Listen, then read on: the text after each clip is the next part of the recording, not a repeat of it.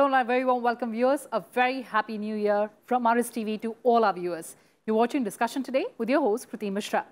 In the sixth round of talks with representatives of farmer organizations, the government had detailed discussions with the representatives on the Air Quality Management Ordinance 2020 and the Electricity Amendment Bill 2020.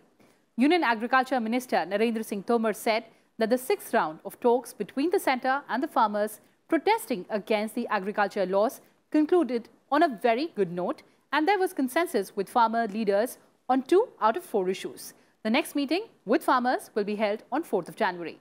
And to further discuss the issue and the way ahead, I'm joined by Mr. Sandip Das, agriculture expert, and Mr. Ashok Dalwai, CEO, NRAA, Ministry of Agriculture and Farmers Welfare. Welcome, Rajya Sabha Television, both of you. Mr. Dalwai, coming to you first. 50% resolution has been reached. The government accommodated few of the demands of the farmers. Now both sides have to move forward. Do you think that this stalemate will get over very soon? Thank you very much, Kriti. On the 30th of uh, December, as we are closing the year 2020, there has been a good news. The farmers' organizations and the government sat across the table and they tried their best to reach a consensus. What we see is that there has been an ice break opportunity that both of them utilized. As you rightly said, the agreement vis-a-vis -vis the Electricity Amendment Act 2020 and the Air Quality Management Ordinance 2020 have, uh, uh, have been a success there is an agreement between the farmers and the government. Now, with this kind of initial success, the more intractable issues relating to the three agriculture marketing related issues, including the Essential Commodities Act, will be now taken up at the next meeting scheduled on 4th of January in the new year. Given that the minds have been opened and the protracted uh, protest by the farmers has also uh, seen some kind of a uh, meltdown in the stand. It is indicative of the fact that they have now begun to believe what the government has been saying. They've begun to trust what the government has been committing itself. So I can foresee that even on the matter of the two amendment acts relating to two acts relating to the marketing, and the third one relating to the Essential Commodities Act, we would be able to reach a kind of consensus soon. The government has been very clear that we are willing to listen to the, the concerns of the farmers and the amendments required to these three acts will be carried out. And very specifically, the government had also highlighted what those issues are. And these issues highlighted by the government were based on are that they are based on the, uh, the, the discussions that we've had so far. The farmers, according to me, can now come back on 4th with deliberation among themselves. And if required, they can also consult the advocates to convince themselves that if we are able to effect the amendments, whether these new acts will serve their purpose or not. There is therefore enough opportunity uh, for the farmers to consult and come back with a sharper, uh, sharper discussion forum. And knowing that government is open, and that's what I think they're convinced based on the discussions that have been held between the two parties on uh, the 30th of uh, December.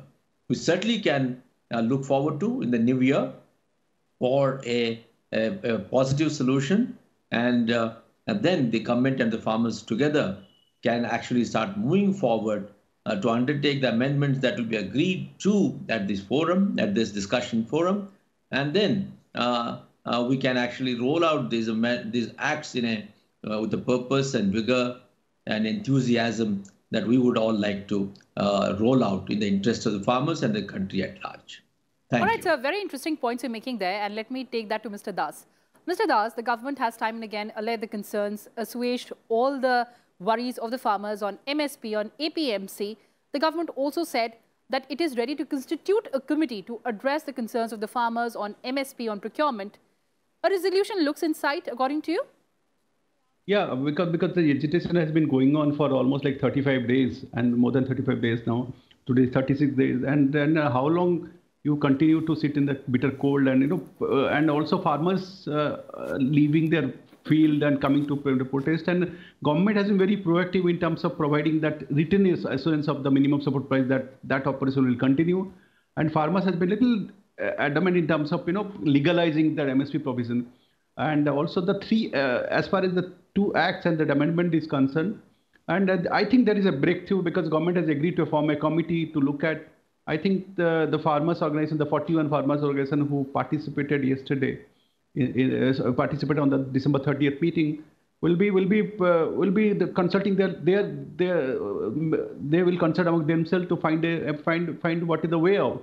Because yesterday I think it was ice breaking and the way the, the, the body language the, the way eat the food I think uh, earlier rounds a little bit of aggressiveness from the farmers. They, they refuse food served in the ministry, uh, the ministry officials and all. Yesterday, uh, I think there is some ice breaking and there are a lot of consultation going on between the groups and the uh, government.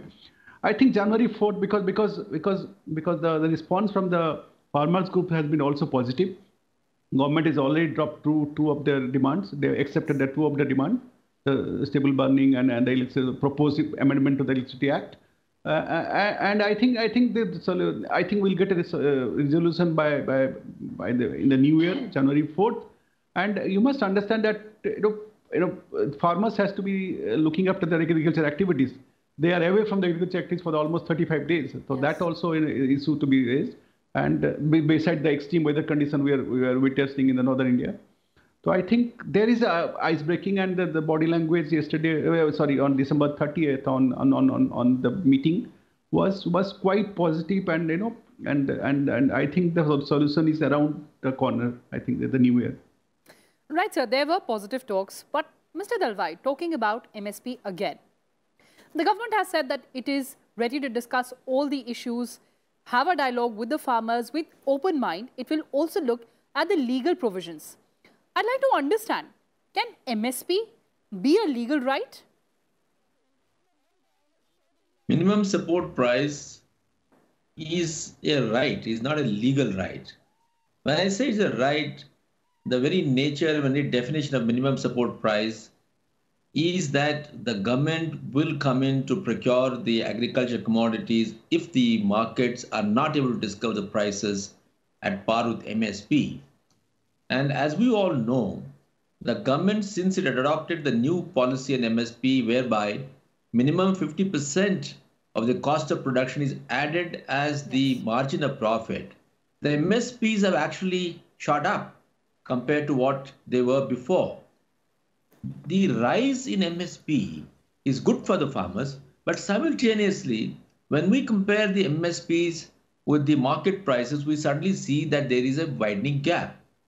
Now, what the government is doing is having up, upgraded the nature of MSP. Now, through the market reforms, it aims to uh, upgrade the quality of price discovery in the markets so that the gap between the MSP and the price discovery that happens in the market actually bridges. So we need to understand when people keep pointing out that there's a wide gap between the MSP and the price discovery, it is only because the, while the administered prices under the MSP system have been upgraded through a new policy, the markets were not reformed. And now with these three new provisions of law, the markets now get reformed. And we are confident that with two alternate channels like APMCs and the direct trade platform under the FPTC, the healthy competition will lead to better price discovery and the price discovery would be at least at par of uh, MSP or even more. And if it is below in certain areas, then naturally government will chip in. So I think both the farmers as well as everybody else concerned with the farming must understand that the the idea is not to procure per se. The idea should be to procure as less as possible by ensuring that the farmers are able to discover better prices. And I must say that government's vision is to transfer remunerative prices to the farmer through a competitive price discovery mechanism where it is above MSP. MSP is minimum support price. But we would like certainly the farmers to uh, be imparted higher prices. How does that happen? It can happen two ways. When we keep on talking about surpluses in certain segments, it is locally a surplus production. But if we are able to transfer that surplus from a local production zone to a far range market, then there will be new demand, there will be better demand, and there are better price discovery. And now government, through the better agri-logistics, will be connecting the production zones across the country with the consumption zones across the country. Obviously, that will bring about more equilibrium between the demand and supply across the country, and farmers are bound to get better prices. And second, of course, is uh, to have a competition between two alternate channels. As long as we have one single channel, whether it is APMC or the FPTC, then there can be cartelization. When we have two systems competing with each other, certainly there will be a systemic improvement and better price discovery. I think that's what the farmers must realize. The people who understand agriculture economics must understand, uh, must realize. The idea is not to transfer all the burden of MSP on the government. After all, government is whose? It belongs to everybody in the country. If we are able to save some money of the government through better price discovery in the markets, the same money will be utilized by the same government for investments in other sectors of the economy or to build better infrastructure uh, within the agriculture sector. There's so much of demand, there are different demands. So I think all of us together must understand that the money, there's a lot of competition on the same amount of money. There are alternate demands. We should try to allocate resources where it is best utilized, where it is best required. So I think the short point I would like to sum up by saying that we must have robust, healthy competitiveness in the agriculture market system so that it is the private players who are able to offer better prices to the farmers. And if the private sector is not able to offer better play, uh, prices, then the government automatically chips in uh, through the MSP mechanism. So should try to reduce that particular burden. I think that's the appeal I would like to make uh, to the farmers. This is your money. When you say it's government money, it is actually your money. So let us see how to save that money and put it in other sectors of the economy, including agriculture sector, where we're able to get better returns on investment and keep improving the growth rates in agriculture. Thank you. All right, a very important point that you're making is about competitive prices. Mr. Das, the fulcrum of the entire discourse is realization of better prices.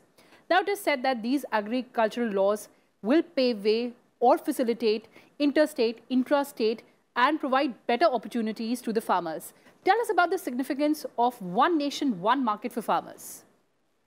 Essentially, what happened, you know, because of the APMC system prevailing, the farmers has been deprived from selling their commodities uh, commodities across the country. Suppose a person sitting in suppose Kerala wants to buy something in Haryana, so that that that a lot of barriers in between. Basically. So that this electronic market system, the ENAM, which government has launched, is trying to do that the alternative marketing channel, the Act also talks about uh, alternative uh, marketing system. And basically, the uh, the redu- uh, most of the APMC are mon- monopolies on their own. The farmers have to bringing their produce to the to, to, to the APMC for sale. This Act Act provides for creation of alternative markets, which which which basically helps uh, price discovery and and linking this uh, APMC, uh, linking to the MSP regime, it's a is not not a, uh, is not desirable because because APM uh, MSP is declared for only government declares for 23 commodities and government procures rice wheat for the National Food Security Act. Mostly to be distributed the food security and also for for ensuring MSP NAFED the the agriculture cooperatives procures oil seeds and pulses and and also cotton corporation India intervenes when the, the when the cotton price go below M, go MSP idea is to have a you must understand the fact that large quantity of major majority of commodities agricultural commodities are traded uh, traded uh, procured by processor or private sector. Yes. even now. Even now. So that that has to be the, the, when we don't have a efficient market system it distorts the price basically. And also the demand supply condition. So there are a lot of issues involved in that. This act the act attempts to the first act uh, attempts to to to create alternative markets. So the private sector invest in, invest in alternative marketing channel. And this also create competition and also who knows APMC, APMC also start improving their, uh, providing better service to farmers. So healthy competition occurs and, and it's an open market.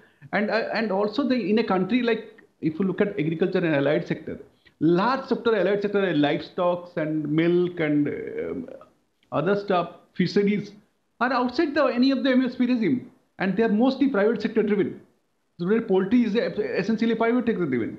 So how to create an efficient market system? So this act provides for that, and linking MSP is not a not a viable solution, and it cannot be a legal right because government can procure that much amount of uh, food grain for the social sector scheme. Government can't be intervening everywhere. Even even even even I always been an opinion that even Cotton Corporation of India uh, uh, uh, should not be intervening in the market. In a cotton is a commercial crop basically. So that sort of reform that this will bring, and and and and also that the Contract farming act also lead to better processing activities because in, in India processing has been uh, comparatively low in the yes. other uh, compared to other countries. The more the processing, the better price realization for the farmers and the investment. Just imagine the person who export the commodity, the person who procure the commodity also would like to invest in seeds, in marketing, uh so in the seeds and the quality of the produce. That's also going to, going to improve. Although farmers organizations have uh, have raised some some apprehension about about dispute settlement, that government has, still, has already stated that they are willing to look at that. The dispute settlement in case of contract farming should, should, should, be going to SDM in the current act. So the government has also said that they are looking at an alternative channel where, where, where the disputes are settled properly.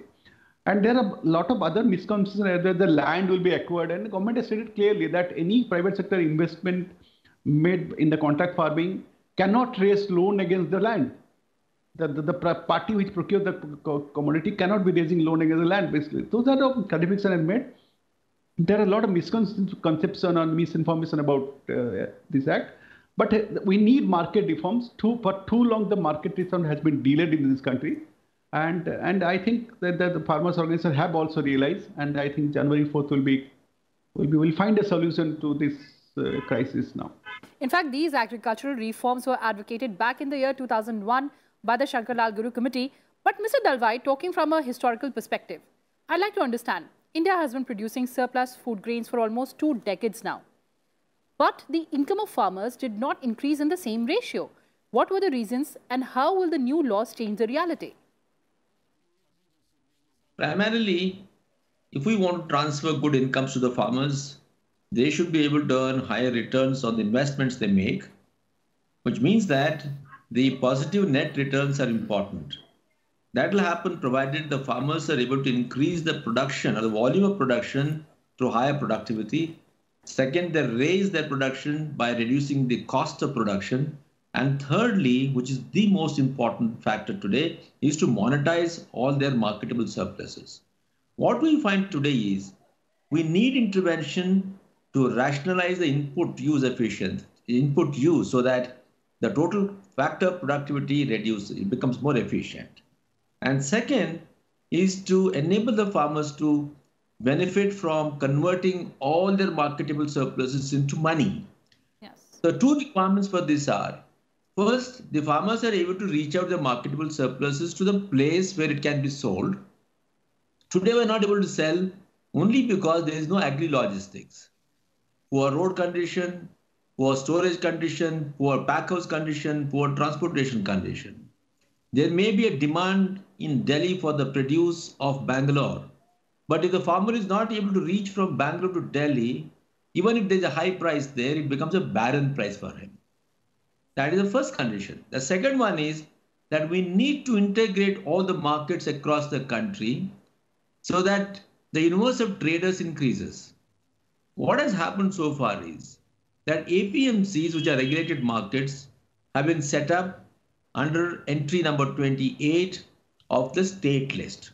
That means the state's jurisdiction is boundarized by the state geography. They cannot legislate for areas outside that. While we make reforms to the APMCs, and we have already suggested reforms to the APLMC Model Act 2017, the efficiency still will be limited because we cannot connect the markets of one state with the market of another. Exactly. We now need to take advantage of nation as a market. And if we want to do that, it is Parliament alone which can pass a legislation which can connect one market with another market across the state boundaries. So we must realize that when we do this thing, the farmers will be able to reach out to markets in the far range and simultaneously because of integration of markets across the state boundaries and provision for seamless transport, there will be better competition and better price discovery. So, so far, the growth rate has been good, but the growth rate of incomes has not been as good. Through the approach of doubling farmers' income, the government envisions to actually now monetize the agriculture surpluses. Yes.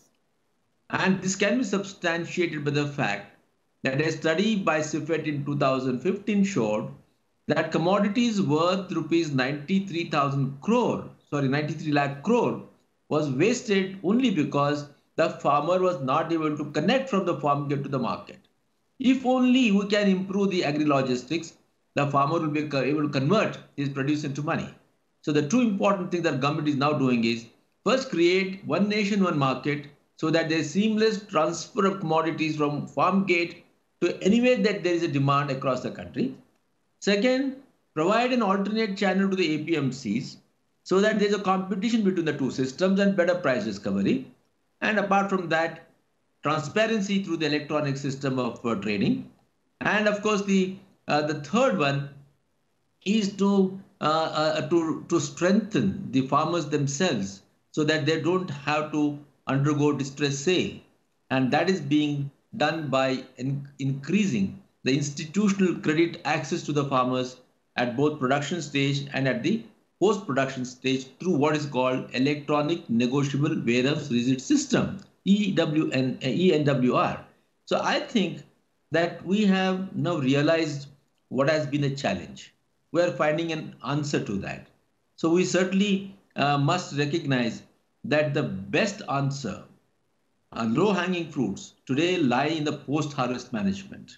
So yes. better agri-logistics, better processing, and better market. These are the three new interventions that are sought to be done through these new reforms, along with, of course, the new FDI policy where there is scope for building capital investment uh, by the corporate sector and uh, the, through the automatic route of 100% FDI and public sector investment through the agri infrastructure fund and the corporate sector investment uh, through the policy uh, facilitation that is possible now through the new acts.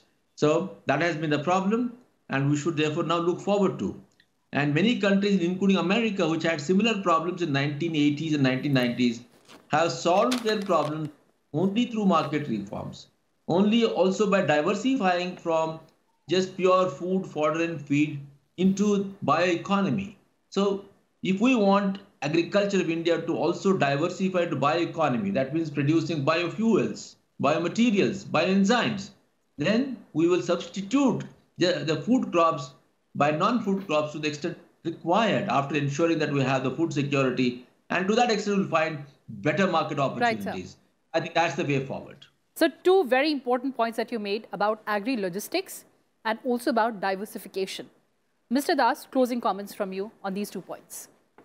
See, I must tell you that today, today the farmers, uh, particularly the livestock farmers, today the dairy. If you look at this, the dairy poultry, and the most perishable commodity. Milk is a very perishable commodity. But because of the investment in the logistics system, we have although there are issues in that system also. But but look at the, the way our milk sector has grown. Look at the way our poultry sector has grown. So that is investment in the, uh, the, the, and and and mind mind you, the focus should be on now diversification, especially the state like Punjab and uh, Punjab and Haryana, because the most of the Punjab farmers who grow rice, non-basmati rice, are actually we have other states contributing to the national uh, food, food gain uh, surplus.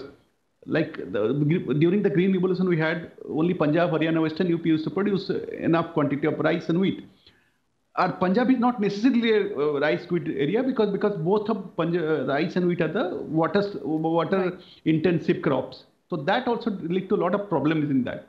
Now that other states like Chhattisgarh, Odisha, uh, and and uh, Andhra Pradesh, Telangana is producing enough quantity of rice, the time is ripe for the in, to diversify. We, we, last couple of years, they talk about diversification. There are some farmers have diversified into livestock, into into allied sector.